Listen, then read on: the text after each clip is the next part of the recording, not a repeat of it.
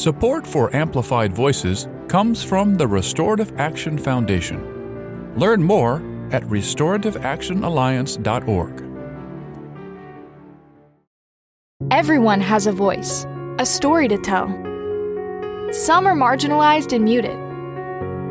What if there were a way to amplify those stories? To have conversations with real people in real communities? A way to help them step into the power of their lived experience. Welcome to Amplified Voices, a podcast lifting the experiences of people and families impacted by the criminal legal system. Together, we can create positive change for everyone. Hello, and welcome to another episode of Amplified Voices. I'm your host, Jason, here with my co host, Amber. Hello, Amber. Good morning, Jason. And today we have Richard Kemick. Hi, Richard. Hi, Jason. Hi, Amber. So, Richard, we're going to start with the same question we have asked all of our guests, and that is could you tell us a little bit about your life prior to entering the criminal legal system and what happened that exposed you to it? Sure. I am a writer in a small town in the middle of nowhere in Canada. Whoa, Canada. Amber, we're international. wow, I'm pretty excited about this. This is our first international guest. it's, well, it's an honor. So you grew up in Canada? I did. And for as long as I can remember in our family, we have had a cousin who's serving a natural life sentence in Michigan. And I never remember learning about this. Like it's always just something I've kind of known that my cousin Christian was convicted. But I, I had never really talked to him at all. So I guess where I was before I started to become familiar with the criminal justice system is that I was a writer, and then I, I thought that maybe I could connect with my cousin and see what his life is like. How was Christian talked about in your family? Was it favorable or is it this is just something that we know and it's a secret in our family and we don't really talk about it? You know, we didn't know a lot about him. What we talked about more than Christian as a person was Christian's sentence. That the idea of a natural life sentence, so a life sentence without the possibility of parole, that doesn't exist in Canada. And just to kind of wrap our heads around, just from our perspective, how bizarre that was, almost impossible it was, that of course it changes between which country you're in. But in Canada, life sentence usually means a life sentence, but with the possibility of parole after about 10 or 25 years, depending on the charge, of course. So I do remember when we learned that a life sentence in Michigan was like a life sentence and just how I guess shocked we were about that. So what you're saying is culturally in Canada, it seems excessive or it's very surprising that there would not be any possibility for someone to be paroled after a certain amount of time. Very much so. Yeah, now, mind you, it would have been about 20 years that I would have learned about the extent of Christian sentence. And in that ensuing 20 years in Canada, I feel a lot has changed to make a sentence like Christian's, a natural life sentence, more common. Now, in Canada, for example, you can stack life sentences on top of each other so that the possibility of parole doesn't come around for like 75, 85 years. I think it is becoming a more common idea in Canada currently. Did Christian grow up in Canada also, or is Christian from the United States? Christian is from the United States, born in Michigan, raised in Michigan, and now lives in Michigan. Okay. And the relation to you is how close or distant? He would be my second cousin. So my father and his father grew up together as cousins. But now my father moved out west when he was 17 or something back when he was wild and young.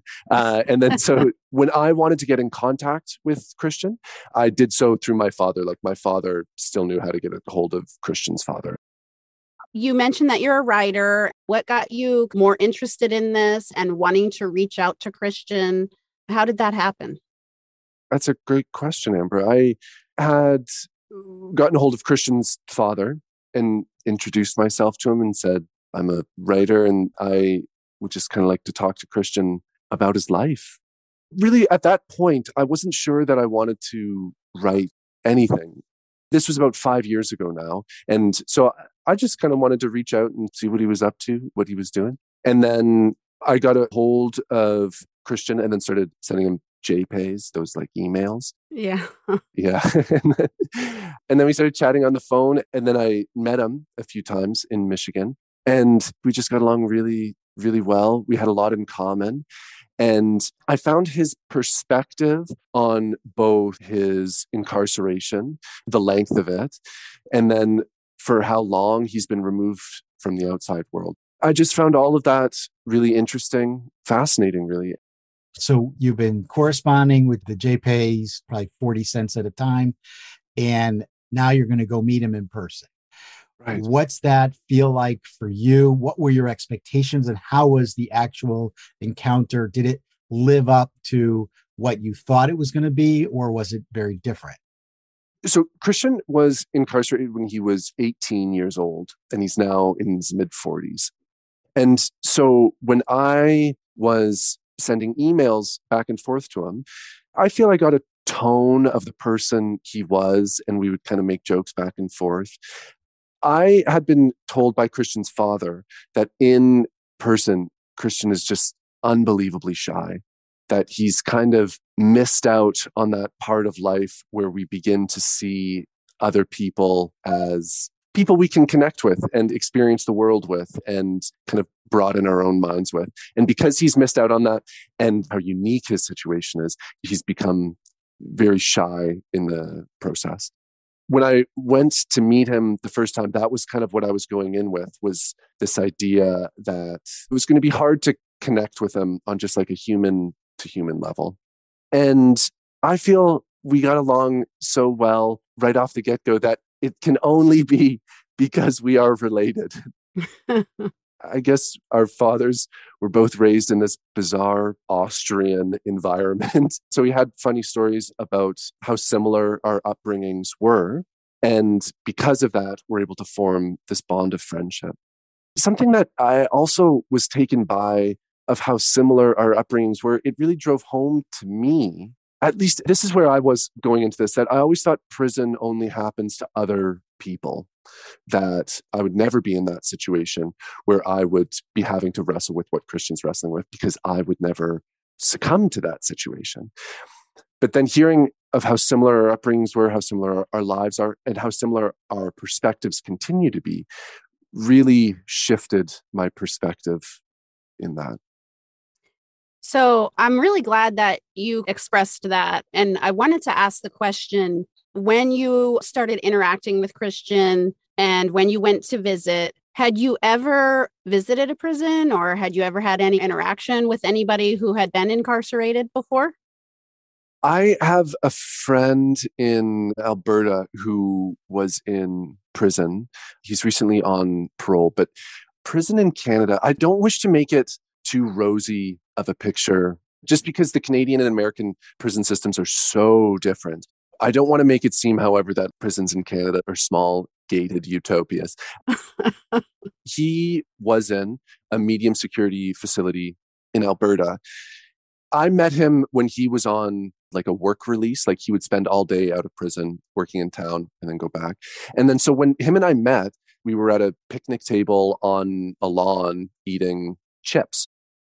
He was also in civilian clothes it wasn't nearly as noticeable that we were in prison as to when I met Christian and like the different parameters of security that were in place at that time. When I got to the prison, I guess I don't really know what I was expecting because of Christian's charge, which is murder one. This is the lowest security prison he's eligible for. And so, because of that, and because of my experience in medium security facility in Alberta. I guess I was taken aback by the level. I mean, it sounds dumb when I say it out loud. I was taken aback by the level of security that I wanted to bring a notebook and pen in. And so I knew that would be tricky. So I got an okay from the warden ahead of time. Even that was like a really large ordeal there was one point when Christian and I met. Since I was coming from out of town, they very kindly let me stay in the meeting room as long as visiting hours allowed. Usually you're only allowed a, a few hours. So we had spent really like the greater part of the afternoon together. at one point, it was time for me to leave and I was coming back the next day. I needed a guard to escort me out, and the guard who did so was on break, and the other guards weren't able to leave their post to escort me out. And just in that moment, I thought, like, wow, I, I really can't leave. It was a bizarre feeling, and I was embarrassed to tell Christian this because, of course, that's what he's been experiencing the majority of his life. I guess it was the first time I had that feeling of being completely subject to the environment I was in. Just that bare glimpse, that quick glimpse of powerlessness that Christian, of course, and many, many people live with through large swaths of their life. Yeah, I mean, I can appreciate the thought on that, having visited a loved one while incarcerated. Mm-hmm. Some of the things that I found most striking, some of the rules and restrictions, just as a visitor, have to go through in order to access your loved one. So if you're not wearing the correct type of shoes, or, you know, I had a situation where I had misplaced my driver's license. And so I was like, well, that's fine. You know, I'm going to go tomorrow or whatever and get it replaced. And so I'm just going to use my government issued military ID. Okay. Military ID. And they were like, I'm sorry, the regulation says a state ID. Mm-hmm. So they denied me access to visit my loved one because a US military ID was not sufficient to prove that I was who I said I was. Right. You know, it's in the name of security, but it feels so much like a cruelty mm-hmm. and it ripples out to the entire family. So that's what I wanted to share about that. Certainly. Tell us a little bit about the things you had in common. You mentioned some of your upbringing. What did you talk about in those couple of hours? We talked a lot about kind of his experiences in life that he has felt understandably i believe that ever since he got locked up at 18 his i don't know kind of life story in that sense has just been warehoused like it's just been put in a corner and that he's not really been able to share it with someone. I should say that Christian is also very fortunate compared to many prisoners in that he's in close contact with his parents, with some of his siblings. So it's not that he has no one to talk to, but he hasn't really met a lot of people to share his story with in that regard. When you said there was shyness, I mean, you didn't experience that. No, I had been pulled over for a speeding ticket minutes before in Michigan. When I drive a rental car, I drive it like I'm trying to win. Anyways, but when I came into the visiting room, I had this story about a ticket. And the real first use I've gotten from my English literature degree is the ability to talk my way out of a speeding ticket. So I feel like that was able to, I don't know, break the ice in a way that we were able to have a, a really nice time after that. So I didn't experience that, but I definitely see why he is so shy in other contexts. So you went, you visited him. I think you said you went a couple of times or a few times. Yeah. Did it change you? And when you told that story to your father, to other people in your family or friends, what's the reaction? That's a great question. Oftentimes I'm hesitant. I was hesitant to tell people about Christian not because of any type of shame or embarrassment, nothing like that. I think he's a wonderful guy. I, him and I chat all the time. I talk to him more than I do most people in my life. I guess I became hesitant in telling people about him because it's kind of tricky to explain. I felt that when people would ask questions about his situation, the questions often didn't treat him as a human being, or rather, see him as a human being. And I feel like that is, of course, a direct result of the situation he's in. The situation that he's in discourages people from seeing him as a human being. Really, we only tolerate the situation he's in because we're able to stop seeing him as a human being.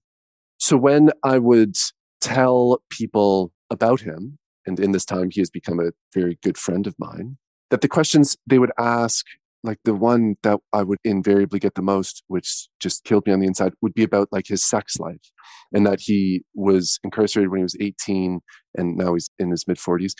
And it just infuriated me that that for people would be like the most pressing question that they have rather than about what is the content of his character how does he see the world or how he's doing or anything like that so i found i wasn't even though I would talk to him all the time, I wasn't really talking to other people about it so much because I would be so sensitive about it. You're having more intellectual conversations with him than the people who aren't incarcerated. How's he managing that? Totally. As opposed to like what you said, is he able to get an education? What does he care about? What matters to him? How's he keeping himself going? Yeah. So, what's important to you from some of the things that you've learned about his character and what he's been able to do? And what can you share? I am just blown away by how he's going to hate me for using this word sensitive he is. So, after talking to him for a few years, I thought that his voice was so unique just in the level of earnestness and compassion that he has in his voice and how like how enthusiastic he is about things and how deeply passionate he is about certain topics that I wanted to include that literal voice in some sort of podcast to have people I guess in these conversations I would have with other people in which I would become very frustrated. I was unable to communicate his humanity, the fact that he is a human to the exact same extent that all of we are humans. And I felt like because I was unable to communicate that, that there was no better person than himself to communicate that. That when he talks about anything from falling in love to fantasy football, he does it in such an earnest and enthusiastic way that it's impossible to no longer see him as human. It's impossible to fall into those same traps of kind of thinking him and his situation as something so far removed as to be something else entirely from who we are. So, when you are having those conversations with people and you're kind of thinking through, like, how do I show his humanity to the world? Obviously, being podcasters ourselves, we yeah. know that having conversations with people and the human voice and the way that we're able to connect with one another is very powerful. Mm-hmm. So, mm-hmm.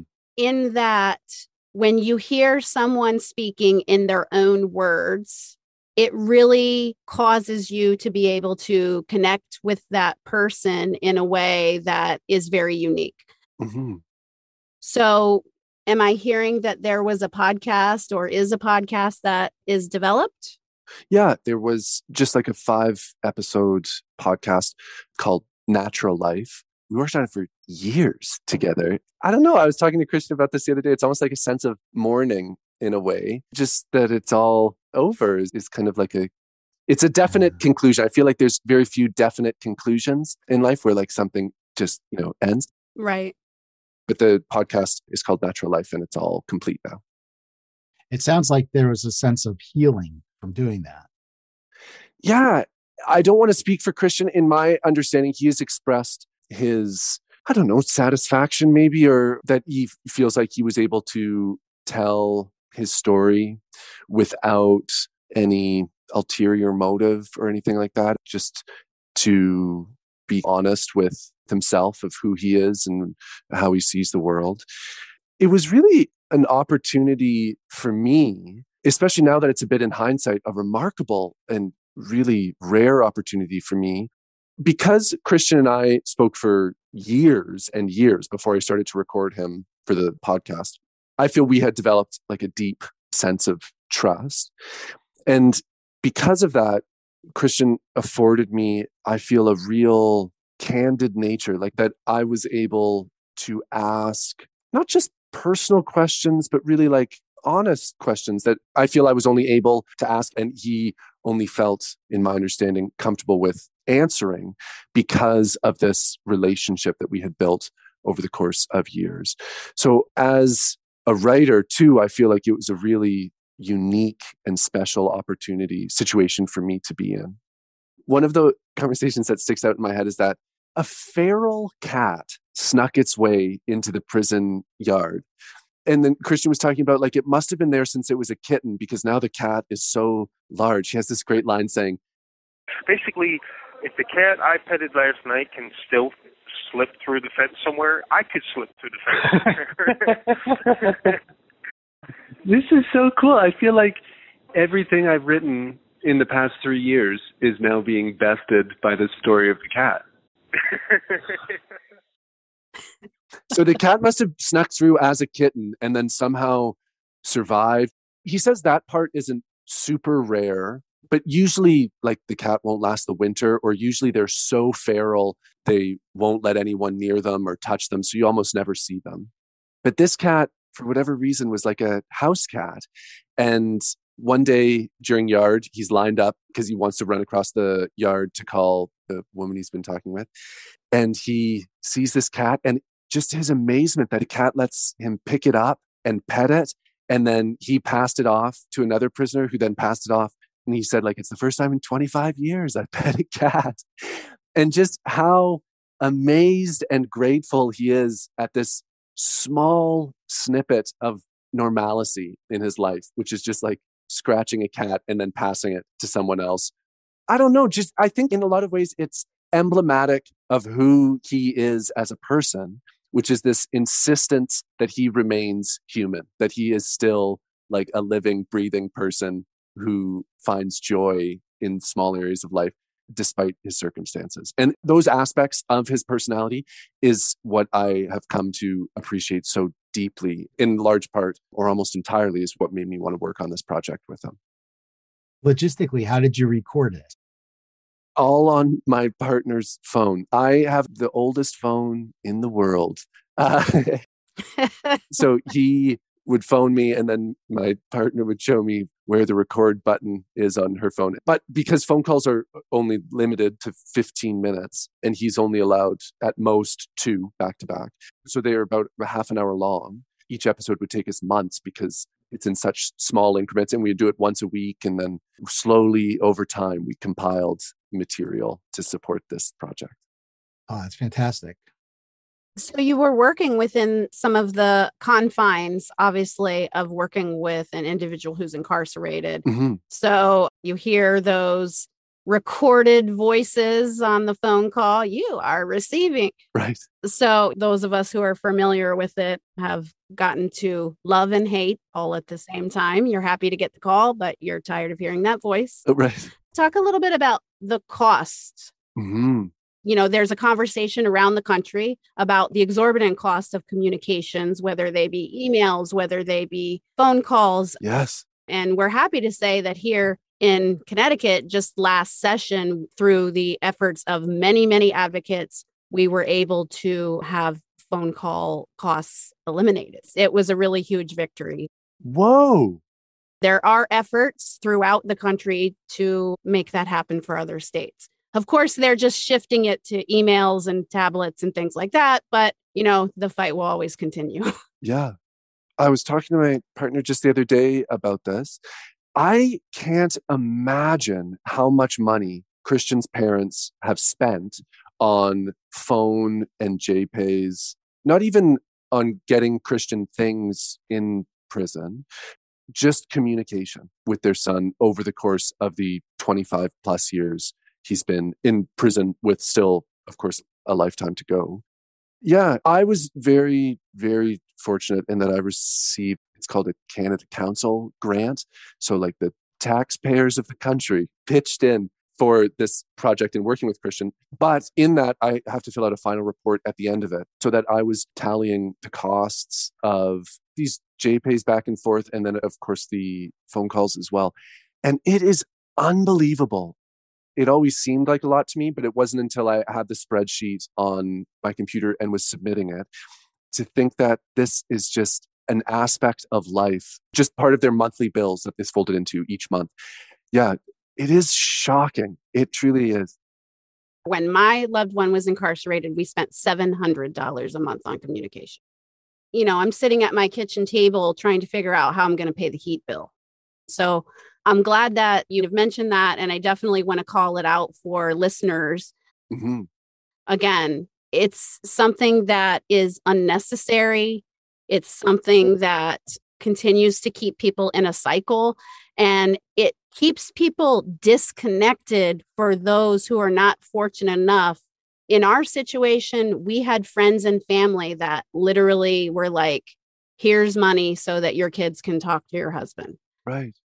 People are making those hard decisions between food and heat and all of that. So it's really important that the advocacy around that continues. Yeah.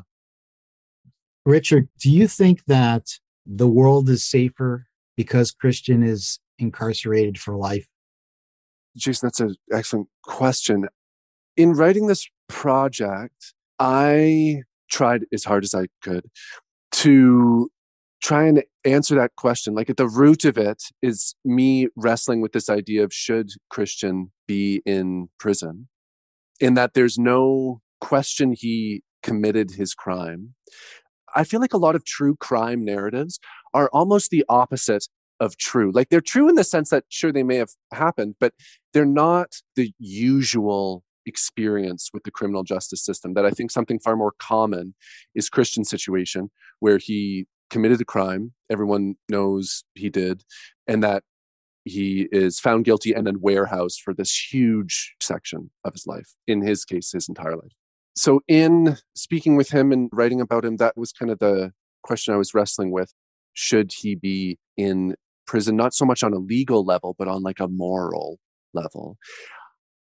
I don't think any rational individual would say that the world is safer because he is in prison. Even the people I've talked with who believe he should be in prison, I don't think any of them would make that argument that he should be in prison because he's a danger to society.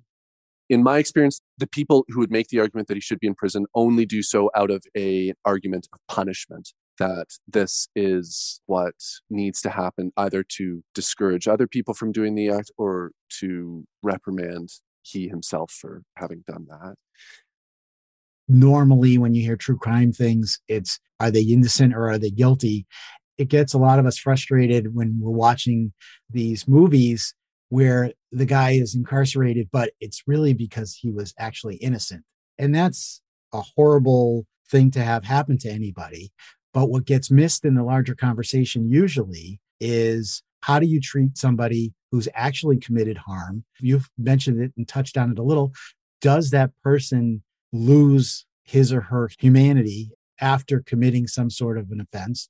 And how do we as a society deal with all of that? And we can either throw the person away, like the United States has been doing at a crazy level, or we could say, you know, that's really not working for us we need to look at something that's a little bit different. How do you help people heal and reenter society? Because what you talk about is just punishment for the sake of vengeance, which Amber, I know you have a lot to say about this, doesn't heal the person who was harmed or the family of the person whose life was lost. If you're talking murder or if you're talking about somebody being abused in some way, just pushing that harm off to somebody else doesn't bring healing. And if the deterrence doesn't work, we're just creating more harm for the sake of creating more harm. I am very, very cognizant of the conversations in the world and the heroic, falsely accused person that is constantly portrayed in media and true crime, and the portrayal of extreme outlier situations in the media which is just not, as you mentioned, the majority of people who find themselves incarcerated. So, to Jason's point, how do we address harm when harm has actually been committed? And so you may not know, but I know that the people that regularly listen know that I was a victim of a sexual assault. And at the time that that happened to me, the harm that was caused to me was so significant that my whole thought process is lock this person up for the rest of their lives. You know, if I could have sent somebody to harm them back, it would have been the thing that I wanted to do.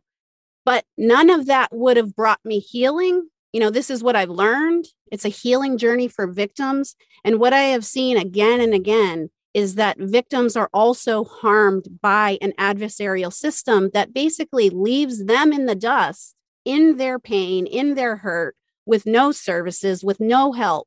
And what do we have all the way around? Just a whole lot of harm. And when we talk about violence and when it happens, it happens in a context, right? So the idea that someone who has committed violence is thinking at that moment in that context and all of the converging factors that are happening. Well, if I do this, I'm going to end up in jail for life, is just not how humanity and humans work. So, that argument, while there is some validity, we have to have laws, we have to have all of that. I don't know that that is valid in my mind. And then what we see is that humans have this amazing ability to learn and grow and change. So, when I think about who is going to help us break cycles of violence, who better than people who have experienced it and people who have caused it, but understand why and have been rehabilitated and can come back in the world and help us break these cycles? So, that's what I think about it. It's from my heart. That's great.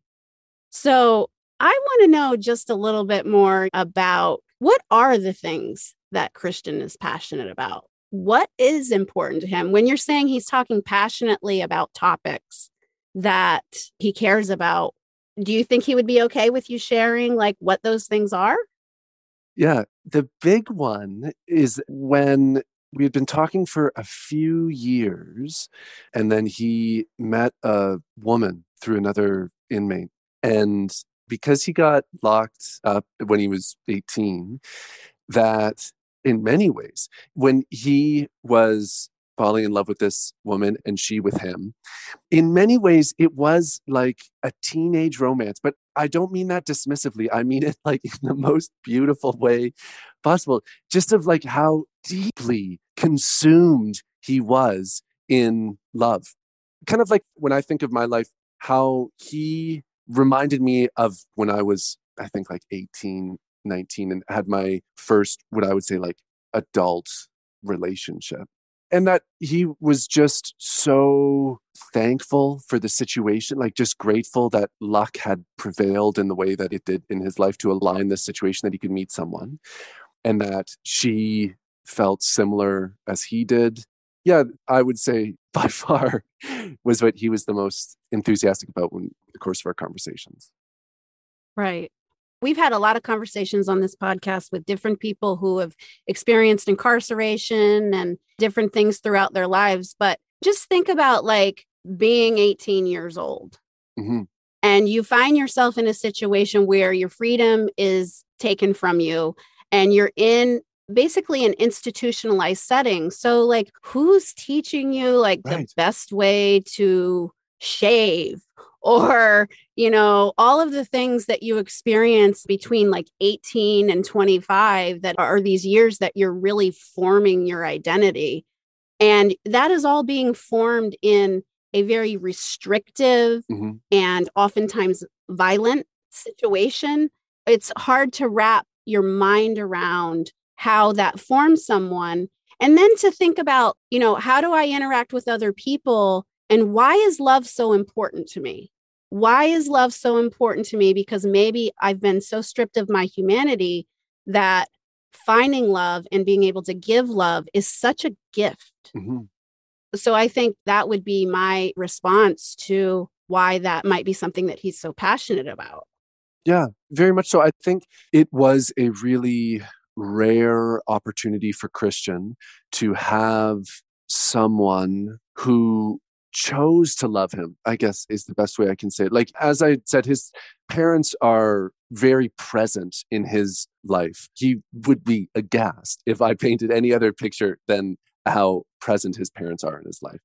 So it's not that he is living absent of love, though I think in large part when he met Bridget was this singular instance in which someone who didn't have to love him did love him and very, very deeply. That is such a beautiful situation. And what a beautiful thing to be passionate about. Yeah. So, kind of moving things forward and thinking about what are the aspirations? Because people have this idea that people who are residents of our prisons and jails don't have aspirations. Mm. Did Christian express to you, or did you talk about his aspirations?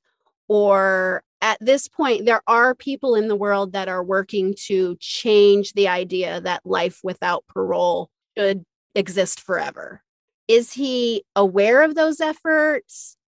Yeah, he certainly is, in my understanding. There is somewhat of a sea change happening in Michigan right now where natural life sentences could either be capped at X amount of years, whether that's 25, 30, or 50, or what have you, which would, of course, apply to Christian. Or there's also another change that's slowly developing that because of Christian's age at the time he committed his crime, that too would preclude him from a natural life sentence. And that current prisoners who committed their crime when they were 18, 19, even 20, that their situation would be dealt with differently than someone who at 35 or what have you committed a crime.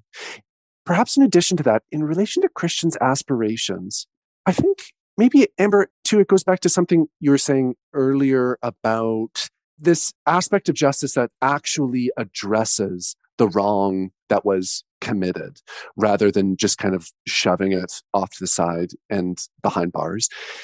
One of the first things we talked about is that out of everyone involved in his crime, so he commits a crime, which of course has a ripple effect throughout his family, of course, his victim's family. Out of everyone involved, he feels he got off the easiest because while everyone else afterwards is having to deal with the trauma and like the shattering of this life, that he is removed far from this and put somewhere where he doesn't have to see it, he doesn't have to deal with it. He gets updated on developments, but only in like the coldest and legalistic terms. So while everyone else, his mother, his victim's mother, are having to go through these incredibly painful points of transition in their lives, he's removed from all of it. And as such, I don't want to say like he hasn't thought about it. He's thought about it a lot, but he hasn't had to go through those same acts of transformation that everyone else who was touched by this crime has had to go through. And so I think one of his points of aspiration, especially in the project that we were working on, is to kind of really attempt to see the scope of his crime and the reverberations of it because he has been removed from those reverberations really now his entire life. So I think he was aspiring to have a truer understanding of what he did, which is kind of wild when you think about it that the whole idea of prison in large part is this idea of like go sit by yourself and think about what you've done. But because of the nature of it, it forbids that exact realization that we would want prisoners to have. The nature of prisons forbids that realization in that it removes him from the situation so entirely. It's almost impossible for him to grasp the severity of his action. Right. It lifts him up and puts him into like a whole new world with its own rule set. Exactly. And you just have to worry about what does it take to survive in a completely different environment. Yeah. So, in my conversations with individuals, and again, I can't speak for myself because I've never been incarcerated, but one of the things that really touched me in speaking to individuals who found accountability in spite of the system. Right. So the system itself separates everyone. So it's almost anti accountability because you don't have to face the person that you've harmed and say, How did this affect you? This is why I'm such mm-hmm. a proponent of restorative justice and restorative practices because it's centered on the harm that was caused and the person that was harmed and what they need. Mm-hmm. So, actually separating and committing harm to both parties further, right? So, it's not addressing the harm. But if you have to sit with someone and look at their face in a controlled environment that keeps everyone safe and know how deeply you've harmed them Mhm. and also include other stakeholders like people from the community the loved ones of the person that was harmed the loved ones of the person who committed the harm and then the people who also have a stake in it like what in our society created the conditions Mhm. where this became okay. So that will get to the root of the issue. So, you know, when I talk to people who found accountability in a system that is not designed for it, that is remarkable, right? Like so remarkable. Mhm.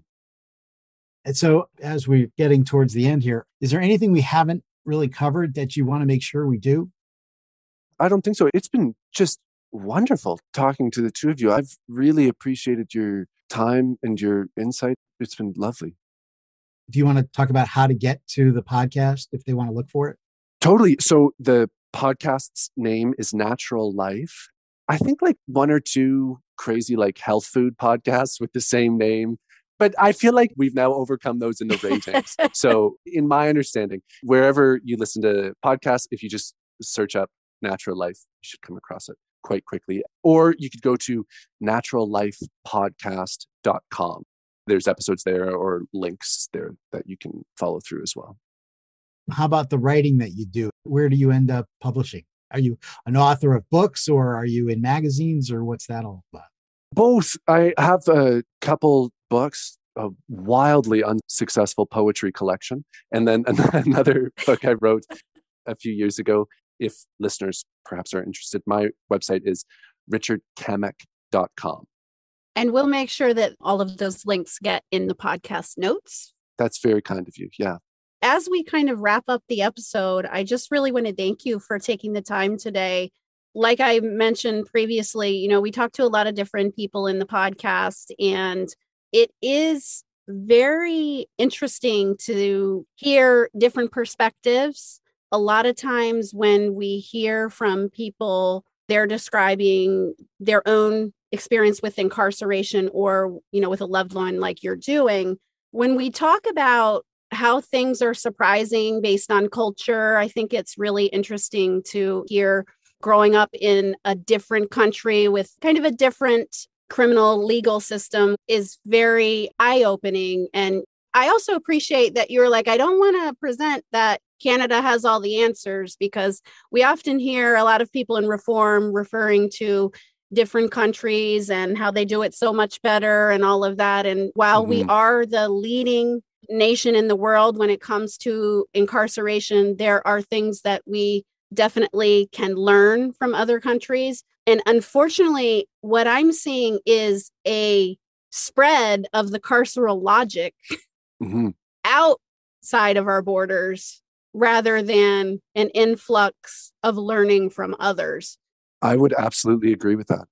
So I think we touched a little bit on that as well. And I would like to see it go the other way. Part of that is conversation we've had today, and every little step and every little conversation and awareness is part of that. So I want to thank you for for the work that you're doing. My pleasure.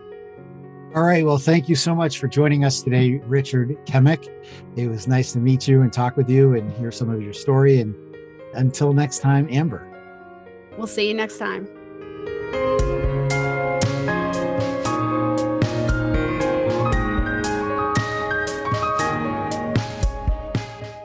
You've been listening to Amplified Voices, a podcast lifting the experiences of people and families impacted by the criminal legal system. For more information, episodes, and podcast notes, visit amplifiedvoices.show.